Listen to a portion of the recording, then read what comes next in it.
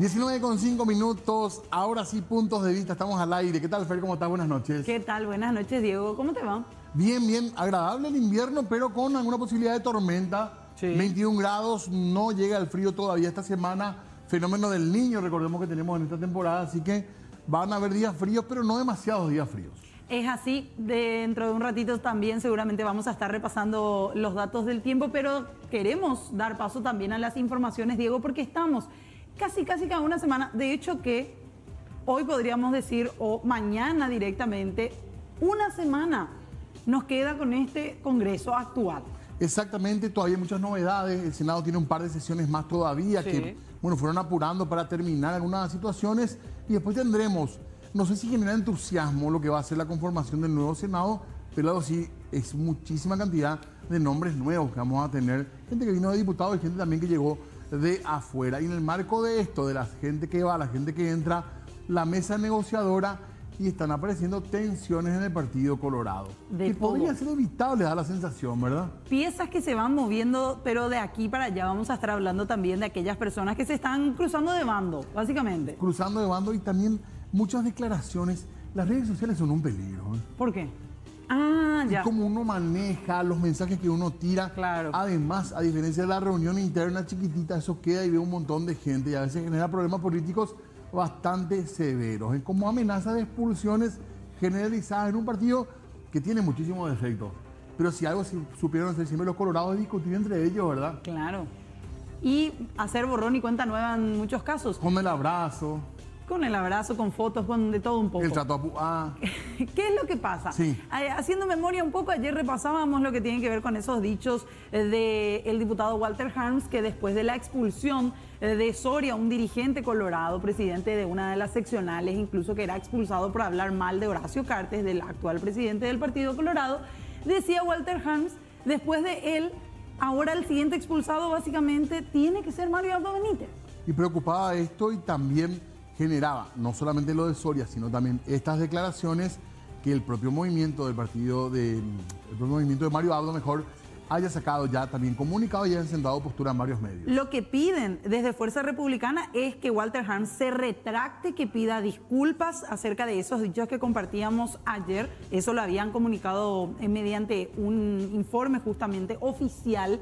Y hoy estuvo hablando respecto a este tema Silvio Ovelar. Sobre uno, decía, Walter Harms es libre de decir lo que quiera decir, esa es su opinión y no representa una opinión de todo el movimiento, pero también nos hacemos la siguiente pregunta, Diego, con esta situación que generó crispación en algunos diputados y senadores electos que van a asumir el próximo viernes, puede llegar a cambiar un poco las negociaciones que se tuvo, por ejemplo, en la mesa directiva de la Cámara de Diputados, donde sí se acordaron cosas entre ambos movimientos antagónicos del Partido Colorado. Además se hablaba en un momento dado que Harms podría ser el líder de la bancada en Cámara de Diputados. ¿Por qué estas declaraciones? Se pregunta uno después de una victoria electoral tan importante. Escuchamos lo que decía respecto a este tema Silvio Ovelar durante el día de hoy.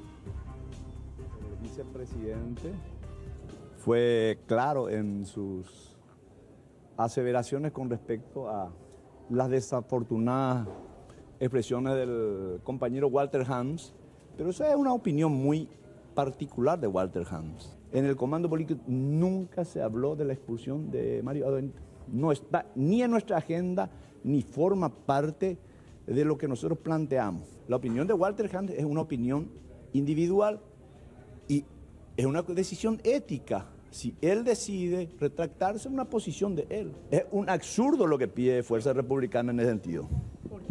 Y porque la revocatoria de la decisión del tribunal no le corresponde a Honor Colorado. El tribunal tiene autonomía. Eh, sería eh, absolutamente inapropiado que eh, Honor Colorado, ni siquiera el presidente del partido, solicitara la retractación, porque de lo contrario estaríamos nosotros inmiscuyéndonos en un órgano que, tiene, que, tendría que, que tendría que tener la autonomía necesaria. En ese acuerdo en diputados no es que eh, solamente gratirola eh, recibimos el acompañamiento de, frente, de Fuerza Republicana.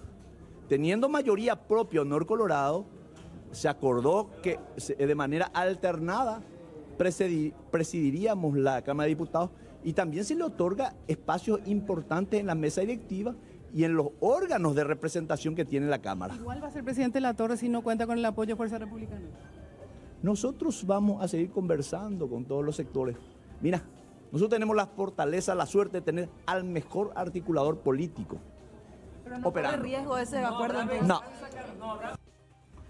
Bueno, ahí al final decía Silvio Velar, no, no está en riesgo esa negociación de la mesa directiva, que él mismo decía, ya acordaron allí que este año La Torre posiblemente sea el presidente de la Cámara de Diputados, Raúl La Torre, y que el año siguiente le toque a Fuerza Republicana. Y que eso no estaría en riesgo después de que Harms salió y dijo, Mario Abdo tiene que ser expulsado también. Y a muchos dirigentes no le cayó, no solamente del lado del oficialismo actual, digamos, de la presidencia de la República, eh, a muchos, incluso de Honor Colorado, les cayó mal lo que decía Harms, porque tampoco contribuye realmente, eh, porque se quiera o no, por más que haya sido derrotado electoralmente ya en las internas, Mariado sigue siendo el líder de un movimiento y sigue siendo presidente de la República y va a ser senador vitalicio. Más todavía ahora que están tan fuertes las negociaciones y ya aparecen las primeras fugas, pese a que hoy se mencionaba que no había fugas dentro de ese equipo de los ocho, como se los conoce, los ocho eh, senadores electos que formaron la bancada colorada independiente.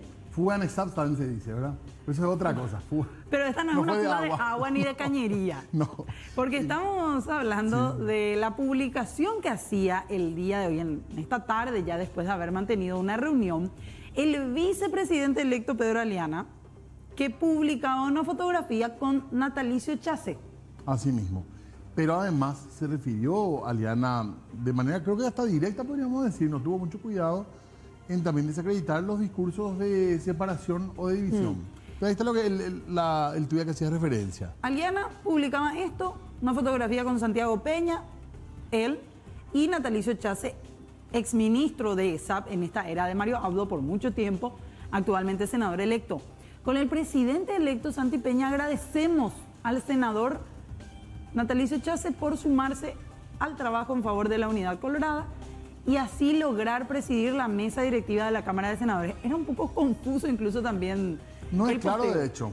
No, pero dicen que lo que quisieron decir con esta publicación es que Natalicio ya se va a votar por el candidato de Honor Colorado. No es que se cambie de carpa. Va a votar, pero... Pero ¿y qué te dice el voto? Y bueno, pero puede ser un voto y no necesariamente cambiarse al de movimiento. Pero ya o va a ser otro independiente. Pero eh, también, pero ya es una fuga, pues. Al fin y al cabo, esta bancada colorada independiente se creó entre los que quieren una mesa directiva eh, que le haga un poco la contra, por así decir, a Santiago Peña. Que haya un poco de contrapeso. El contrapeso. Y esta ya es una primera fuga. Se menciona extraoficialmente que son dos las fugas que se van a tener en ese equipo de ocho senadores electos. En cuanto a votos, decimos, Chase ya sería el primero. Que Chase fue en su momento bastante cercano también. Bueno, de hecho estaba ocupando un cargo muy importante en la SAP. A Mario Abdo, claro. A Mario Abdo. Eh, la siguiente fuga sería la duda. Hoy hubo reuniones. Eh, Santiago Peña incluso habló de que estuvieron reuniéndose, por ejemplo, con Mario Varela, exministro también de, de Mario Abdo, que forma parte de esta bancada de los ocho se hablan de otros, no, otros nombres también, pero lo que sí dijo Santiago Peña, estamos hablando con todos, porque lo que buscan es tener finalmente los votos para que Silvio Velar sea el presidente del Congreso. Este es el camino tradicional del Partido Colorado, ahora no las declaraciones de división, sino ya con el poder en la mano buscar las alianzas, como el caso entonces de Chase que se podría mudar de bancada. Por fuera de esto, Diego, el lunes hay reunión entre la multibancada opositora algunos están invitados ya eh, de Cruzada Nacional que dicen nosotros no vamos a votar por el candidato que tenga honor colorado, no importa que sea Beto Velar o cualquier otro, nosotros no vamos a votar por un cartista para presidente del Congreso, dicen algunos senadores electos de Cruzada. Pero habría también fugas dentro de ese partido. Claro, bien comunicado, pero no firmado por todos, así que veremos qué pasa con un eh, sector que todavía genera muchísimas dudas en cuanto a la postura que va a tener en general. Es así. El lunes te decía multibancada que se reúne para ver a quién van a apoyar. Ellos dicen que se sienten mejor con la con el equipo de Fuerza Republicana o ex Fuerza Republicana que hoy día se llama Bancada Colorada Independiente. Hay que ver en los próximos, la semana que viene, Diego, va a ser súper, súper candente en materia de negociaciones. Sí. Y antes de, de, cambiar de tema, nomás yo hacía referencia también a un tuit que había publicado Pedro Aliana, donde bajaba línea con respecto al tema de, mm, eh, de lo que fue la, declaración de Walter Harms. Casi directamente decía, es tiempo de construir, de acercarnos entre correligionarios. Con otras palabras, también desmarcándose un poquitito. Claro, porque aparte ya como vicepresidente su función va a ser justamente esa, ¿verdad? Mantener a los legisladores cerca también del poder. Así que vamos a seguir hablando de política, por supuesto, en esta jornada, pero también le queríamos comentar un tema judicial que tiene que ver con Peirano. Ustedes recuerdan, este hombre que está vinculado a una investigación grave porque tiene que ver con un banco, tiene que ver con un montón de gente que quedó sin sus ahorros, sin sus recursos, y este hombre que estaba en el Uruguay y que fue extraditado hasta nuestro país. Nos referimos al banquero uruguayo José Peirano que obtuvo en la justicia ya algunos beneficios, como el caso de esta prisión domiciliaria con la que va a ser beneficiado.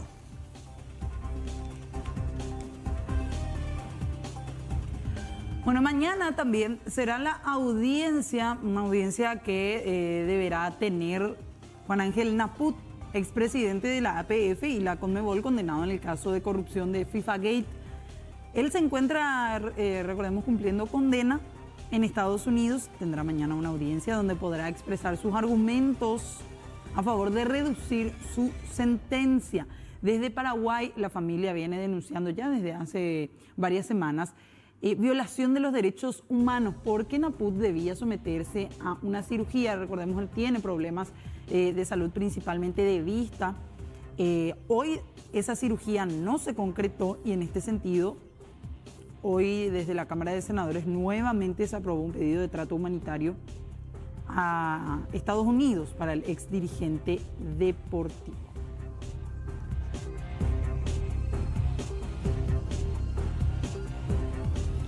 Más novedades para hablar de otro caso también de investigación de posibles hechos vinculados a corrupción. Nos referimos ahora al caso Dani Durán y novedades también con respecto al juicio que le están siguiendo al exfuncionario. Se aplazó la audiencia, no se pudo desarrollar la audiencia de imposición de medidas para el exdirectivo de Mocipar, el arquitecto Dani Durán, es con relación a la primera imputación por estafa y asociación criminal mediante inversiones fraudulentas que arrojaron varias víctimas según la Fiscalía.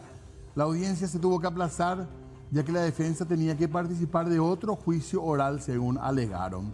Durán recientemente tuvo una segunda imputación por hechos similares con relación a otro grupo de víctimas.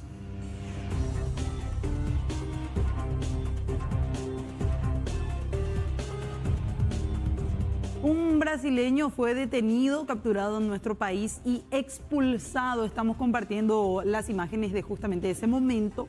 Demetrio de Souza Lacerda fue detenido por la Senat días atrás y expulsado del país y entregado a la Policía Federal brasileña esto ocurría en la frontera entre Pedro Juan Caballero y Ponta Poná. El hombre se encontraba con medidas alternativas a la prisión en Brasil por casos relacionados al tráfico de drogas y armas. En poder de él fueron incautadas dos escopetas semiautomáticas calibre 12 y tres aparatos celulares que serán sometidos a peritaje por los investigadores para buscar información sobre sus vínculos.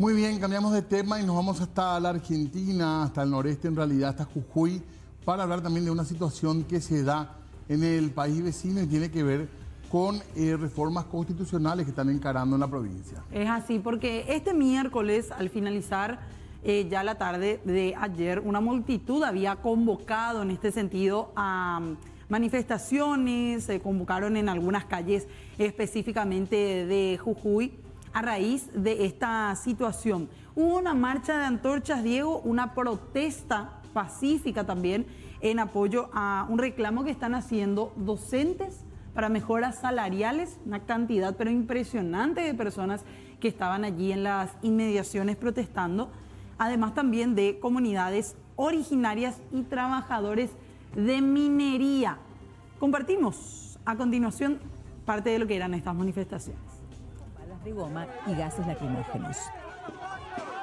Hay muchos heridos. Los choques dejaron entre 50 y 70 personas lesionadas, en su mayoría por pedradas y por heridas de balas de goma. Los manifestantes protestan contra lo que consideran una polémica reforma promovida por el gobernador Gerardo Morales, que ha desencadenado movilizaciones en los últimos días y provocado una escalada de la tensión con el gobierno del presidente Alberto Fernández. Turbación al derecho a la libre circulación de las personas y la ocupación indebida de edificios públicos en la provincia, lo que los manifestantes denuncian como una limitación al derecho a la protesta.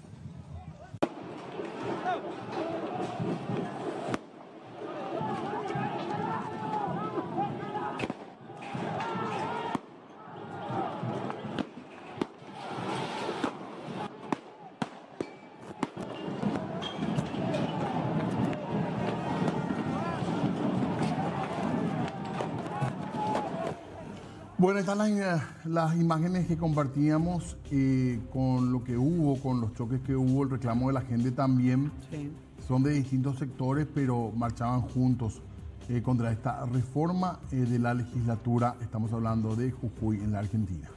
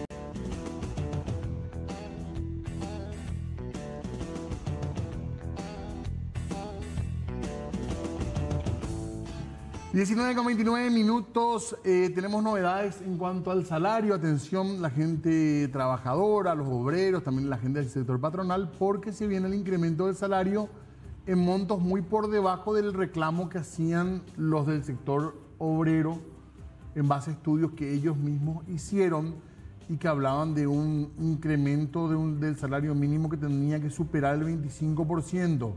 Finalmente no subiría más de 5%. Porque hoy se reunió el Consejo Nacional de Salarios Mínimos con ASAM y decidió elevar una recomendación al Poder Ejecutivo, que básicamente digo ya es, por lo general, la, eh, la línea que sigue después el Poder Ejecutivo al momento de hacer el aumento. Sí. ¿Qué es lo que recomendó CONASAM finalmente, o lo que va a recomendar al Poder Ejecutivo? Que el salario mínimo vigente se incremente 5,1% más. No así como dijo, eh, decían desde el sector obrero, del 25%. solamente en este, en este marco. Según, según las autoridades de CONASAM, eh, ellos tienen que atarse al informe del Banco Central, Sí. al índice de precio del consumidor, que fue ese monto. 130 mil guaraníes más serían 2.680.000 y piquito. Asimismo, antiguamente el sistema de antes era si subía 10%, a a 10% eh, la inflación, ahí había que subir sí o sí el salario. Se cambió la ley y anualmente se estudia en el mes de junio, Sí. que es lo que se hizo ahora, y la ley dice que se tiene que incrementar en el porcentaje del IPC, que fue 5.1%. Entonces, el salario va a aumentar 130 mil guaraníes para los, aquellos que ganan el salario general, podríamos decir, porque sabemos que hay varios tipos de salarios, 350 tipos de salarios hay, 300. 350, dependiendo del rubro. Tipo de salarios mínimos. Claro, tipos de salarios mínimos, salarios base. Y en general este es el monto que va a subir. En realidad creo que es un poquito menos porque hay que descontarle IPS, Claro. que sería en este caso para el trabajador un 13 mil guaraníes por ahí.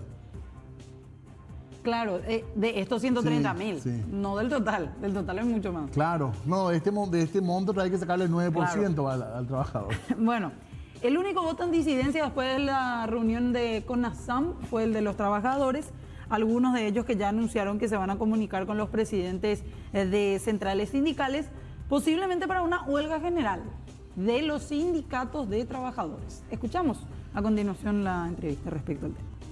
Y hoy estuvimos acompañando a nuestro representante en la reunión de CONASAM para conversar sobre este tema tan delicado como el reajuste del salario y para presentar un estudio que nosotros hemos realizado con técnicos, con economistas, sobre la proyección o la progresión del salario y del costo de vida.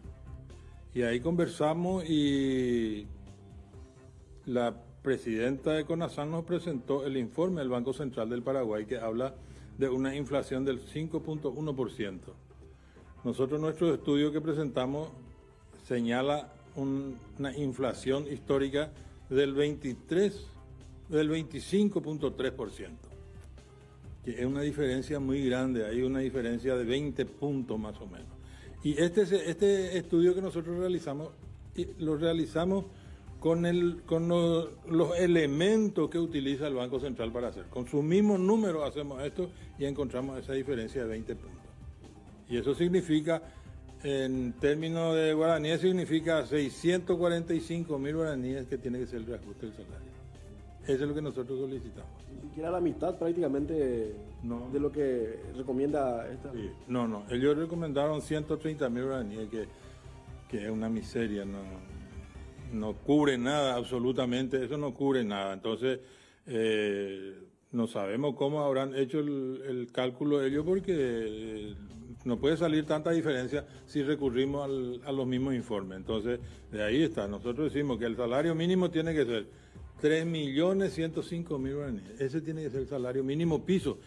Eh, Ese para equiparar momentáneamente nomás también el costo de vida. Esta es la pérdida que nosotros tenemos en nuestro, nuestro poder adquisitivo. Entonces, esto para fortalecer otra vez el poder adquisitivo se tiene que llegar a 3.100.000 el reajuste del salario. Nosotros le planteamos al, a CONASAN de que presenten los dos informes. El informe del Banco Central que ellos tienen y el informe o el estudio que nosotros presentamos. Que se le presente al equipo económico los dos estudios y que ellos decidan. En vista que eh, al parecer hubo resistencia de, de- de de dos miembros de CONASAN, entonces nuestro representante se negó a firmar el acta y quedó así, no sé cómo habrá quedado, porque nosotros nos retiramos antes, como ellos son los que votan, entonces nosotros les dejamos que voten. Nosotros somos parte de una pata importante de la economía del país. Se tiene que tener sí o sí en cuenta lo que plantean los trabajadores. Cualquiera que se opone a esto está jugando en contra de los trabajadores. Eso es peligroso, no es, no es de gente inteligente hacer eso. Se tiene que escuchar las dos campanas. Acá las dos campanas son el empresario y los trabajadores. 130 mil guaraníes, ¿qué opina la gente? Ahora, un- uno se pregunta, ¿van a subir los precios? Y definitivamente sí, ¿Van a subir pasa. Sí, pese a que el monto es tan bajo. Pero ¿y cuánto fue la vez pasada? ¿200 mil hace un Sí, año? un poco más, sí, un poco más. De 2.300 a 2.50 creo. A 2.550. Sí, 2.550. 2.50 creo, un poco menos. Y bueno, Y subieron los precios. y sí, Pero los precios igual suben acá en Paraguay o no. Claro. No dependen de esto. Pese a que finalmente dice BCP que hay inflación cero algunos meses, como en mayo. Salvo prueba en contrario. Yo no escuché una cacerola del sector trabajador para reclamar su salario más allá de lo que decía eh, Bernardo Zárate. Claro. Eh, acá dice, por ejemplo, una Sí. persona, eso del salario de 130 mil más es, al fin y al cabo, para IPS nomás. Cuando sube el salario, sube también el aporte. Al final terminas pagando con esa suba, la suba de, de precio de los productos y el IPS. ¿Cuál es la fórmula, verdad? Y cuál es la fórmula sobre todo ya pensando en el, en el futuro gobierno? Porque como nunca hemos sentido experimentado la suba de los precios, reconocen los economistas, en los alimentos subió más del 30% y eso no más puede comprar el trabajador del salario mínimo. No puede comprar las otras cosas. Claro. Eh, dicen ellos que ya escuchaban allí la parte del sector trabajador, se retiraron de la mesa, fueron el voto en disidencia. Acá dice la gente, eh, una miseria realmente. Otras otras personas incluso dicen, se tiene que ver desde el punto de vista ya de la constitución para ver cuánto tiene que subir realmente, pero ¿qué hacer? Una, una reforma. La ley dice que el salario mínimo tiene que alcanzar hasta para la diversión del trabajador. Eso decíamos acá la otra vez. ¿Te imaginas con, ese, con este aumento? Que ahora es un lujo, no es una cuestión a la cual pueden acceder. Diversión en serio, muy difícil pagar con esto. Eh, en un ratito vamos a hablar de esto y por supuesto también de, de las noticias del día a nivel internacional. Creo que todos mantuvimos un poco de esperanza después de aquella eh, tragedia con final feliz de Chile, de los mineros y el rescate heroico. Nos queda la, siempre la idea de que pueden pasar estas cosas casi milagrosas, pero no siempre pasa. Vamos a hablar de eso, de este sumergible cuyos restos fueron encontrados el día de hoy a la vuelta de la pausa. 19,44, digo bien, perdón, 21 grados la temperatura. Estaba pensando ya en lo que se viene. Eh, calorcito va a ser, hay alerta para algunas zonas y nosotros queremos hablar de algunas novedades también de esta jornada. Creo que con la cantidad de información que hay, pocas veces tenemos esta concentración de repente Sí. de medios a nivel internacional, casi todos con un mismo tema, ¿verdad? Claro. fue tema de, de mucho interés, se siguió porque tiene un poco, tenía características también un poco de, de intriga, pero la confirmación de la muerte de los cinco tripulantes de esta nave, el Titán, que estaba en el Atlántico Norte. que estaba desaparecido hasta el día de hoy, pero finalmente fueron encontrados escombros, restos podríamos decir, de este sumergible. Y finalmente también autoridades, después de dar a conocer la información, ya catalogaron y dijeron podría haberse tratado de una catastrófica implosión. Y por eso, Diego, queremos ya establecer contacto eh, con un buzo, el experto en, que va a poder darnos algún tipo de, de luz también respecto a este tema. Está en comunicación con nosotros Luis eh, Tony Brochado, buzo profesional salvamentista, a quien ya saludamos. Buenas noches, eh, señor Tony, ¿cómo le va? Hola, buenas noches, un gusto comunicarme con ustedes. Muy amable, gracias por atendernos. ¿Cuáles son sus impresiones, sus primeras reflexiones con esta noticia que se tiene hoy del Titán, don Tony? Bueno, eh, la impresión, digamos, desde hace unos días fue de absoluto asombro para nosotros, porque estamos acostumbrados a, al rigor, digamos, de, la revisión técnica por parte de los organismos técnicos este, del gobierno, digamos, de la prefectura, eh, en el control, digamos, del pleno funcionamiento de- del equipamiento que se usa, ¿no? Claro. Este, incluso cuando se, se innova, cuando, cuando nosotros tratamos de crear alguna, alguna herramienta este, o modificar algún equipamiento, tiene que pasar por la autorización de del organismo de control y de su aprobación. No se puede hacer nada que no esté probado. Y lo que nosotros hemos visto, lamentablemente, es que este equipamiento no estaba, eh, bueno, ahora ya se sabe, ¿no? Estaba publicado por todos lados, que no cumplía con un montón de, de requerimientos, digamos, de los organismos de control en Estados Unidos. Eh, se las ingeniaban, digamos, para sacar este vehículo, cargarlo en un barco y llevarlo a aguas internacionales, en fin, Sí. este, y después ver cómo este, manejaban este vehículo, que nosotros le llamamos artefacto naval, porque no es un submarino ni nada que se le parezca, Sí. con un joystick, digamos, ¿viste? Había una cosa que no podemos entender, este, gente incluso prepara- pre- preparada, digamos, conocida, como había un francés buzo ahí que Sí. había bajado con, e- con estos equipos hace similares, ¿no? Hace 30 años. Y cómo pudieron este, entrar, digamos, en esta locura, porque realmente es una locura, este, si a vos te falla, una cosa que no puede fallar en estos equipos es la comunicación. Y si vos tenés un sistema de comunicación, no tenés que tener un solo tema, de, un- una sola forma de comunicación, se tiene que tener mínimo tres, porque si falla uno, ten- tenés el otro y el otro. Y no tenían Digamos, nada. La, la seguridad, la seguridad es, tiene que ser más que el 100%. Ahora, eh, Tony, mencionaban también una cuestión de un hueco legal al momento de hablar sobre eso que usted ya mencionaba. El hecho de transportar una, eh, un sumergible o un artefacto como este en una embarcación que saliera desde alguna costa en específica, porque si se lanzaba desde esa zona, primeramente que no se lo iban a permitir autoridades navales. Eh, es así, es- hay también un, un hueco legal que les permitía trasladar a esto hasta mar abierto, mar libre. Exacto. Lo ca- era como una carga, un paquete, digamos. Claro. Lo cargaban el artefacto naval a bordo de la, de la nave que lo iba a apoyar, como una nave nodriza, ponele, y lo llevaban a aguas internacionales. De esa manera podían evadir. Pero, pero de todas maneras, en- digamos, lo- los organismos federales como la policía, la prefectura, la armada, tiene personal de inteligencia que son los que se abocan a tratar de descubrir eh, que, que las pers- estas personas, digamos, no, no terminen haciendo lo que se ha hecho, ¿no? Este, eh, esquivando, digamos, los controles que, que deberían haber, Tony, haberse hecho.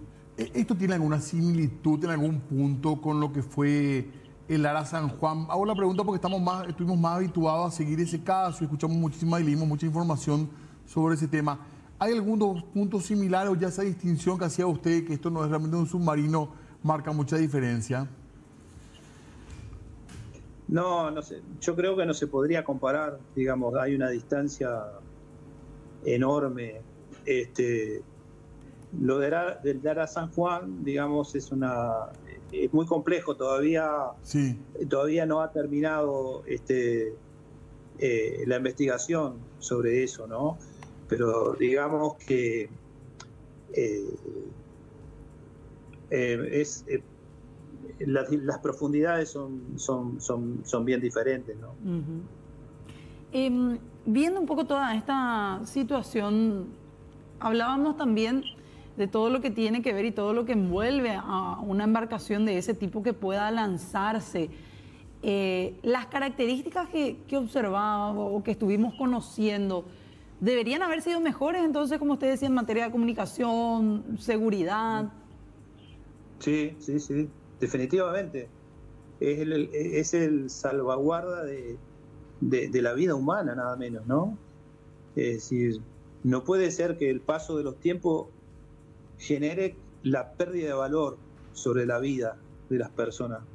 Eso no se puede perder, porque acá ha habido como, como es que se dice, una cosa como que ha perdido valor, ¿no? Se ha frivolizado. ¿no? Una, una, un- una actividad turística para llevar a gente a casi 4.000 metros de profundidad. Es una cosa este, tremenda, es, es como una pérdida de humanidad.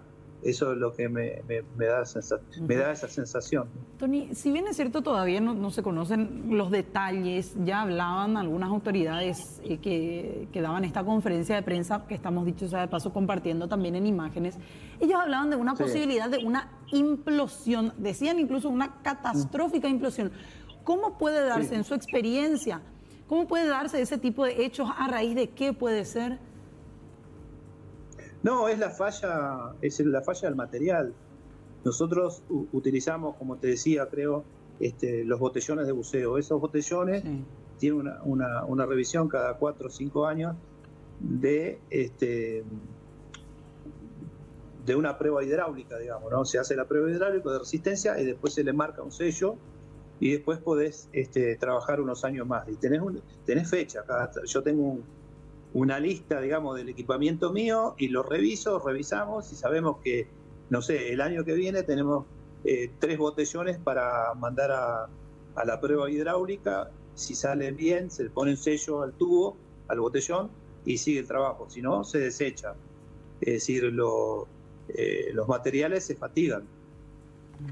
Entonces acá, eh, posiblemente esa falta de control, este, ellos no creo que no hacía mucho tiempo habían bajado con este mismo artefacto naval hasta ese lugar, incluso un, un muchacho de esto que hace, ¿cómo es que se dice? Que publican cosas por... Por redes. Sí, Exactamente, estuvo ahí y Sí. contó una experiencia eh, de un corto de comunicación y demás. O sea que este equipo ya estuvo en ese lugar varias veces. Pero lo que no hay que perder en, en- en cuenta, hay que tener en cuenta que los materiales se fatigan y que tiene que haber un, un riguroso seguimiento de, de ver cómo, cómo están esos materiales. ¿no? Para eso hay, hay, hay técnicas, hay, hay mecanismos, digamos, este, muy modernos para, para comprobarlo. Don Tony, le agradecemos mucho el tiempo. Queremos seguir charlando, seguramente al paso del tiempo habrá más información sobre esto, así que lo volveremos a molestar para conocer más de sus impresiones en base a su experiencia también. ¿eh? Bueno, para mí será un placer, un, un honor este, poder hablar con ustedes. Les mando un abrazo Muy, ama- muy enorme. amable. Gracias, gracias. Bueno, eh, estábamos conversando, un buzo especializado en, en estos temas también, para dar un poco de luz a este terrible caso que involucra y finalmente la confirmación de que fallecieron, murieron todos los que estaban a bordo de la tripulación. Se hablaba de escombros, pero no escombros como los conocemos habitualmente, sino en total creo que de cinco partes de diferentes eh, artefactos que formaban parte de este sumergible final. Y notable lo que decía también sobre la banalización de algunos viajes y la falta de previsión también, más o menos dando a entender que para entrar ahí mm, era medio complicado ya en la previa. La presión en sí también. Todo Así lo que tenía que atravesar casi cuatro kilómetros para abajo, con toda la presión que eso también conlleva. Vamos a estar hablando de esto de, de vuelta, por supuesto, porque van a surgir más datos con el paso del tiempo y volveremos Sí. a charlar. Hacemos pausa ya. En instantes, Cuape. Exactamente, y rápidamente tenemos que dar también esta información anunciada hace minutos nada más por el presidente Mario Abdo Benítez. Hace referencia a finalmente la apertura de un mercado para la carne paraguaya. Canadá habilita su mercado a la carne paraguaya desde el próximo mes de septiembre del 2023. Y a nivel político también novedad para cerrar nuestra programación porque el PLRA convoca a convención para renovación de autoridades. Efraín Alegre dará un paso al costado. El próximo domingo 6 de agosto en la ciudad de Fernando de la Mora, la convención del Partido Liberal. Escuchamos. eh, planteado que el camino para el gran debate sobre estos seis temas que ya han visto ustedes, que refiere a la línea política de oposición, que refiere a la lucha contra la corrupción, que refiere a una nota presentada por los intendentes, que es de cuestionamiento a este presidente. Bueno, me parece muy bien siempre y cuando que se haga por las instancias institucionales, en este caso la convención, así que yo creo que en esa convención nos vamos a fortalecer tomando decisiones dentro de la línea y dentro de lo que establece la institucional- institucionalidad y el estatuto. Así que esto es muy saludable, muy bueno, se toma por unanimidad y eso creo que nos fortalece mucho como partido. Hablan de la decadencia del partido, eh, algunos hablan de la decadencia del partido y la responsabilidad. Pero por favor, este es un partido que ha sobrevivido al estronismo. Este es un partido que tiene la fortaleza para poder defender la institucionalidad. Este es el partido que ha defendido la libertad. Este es el partido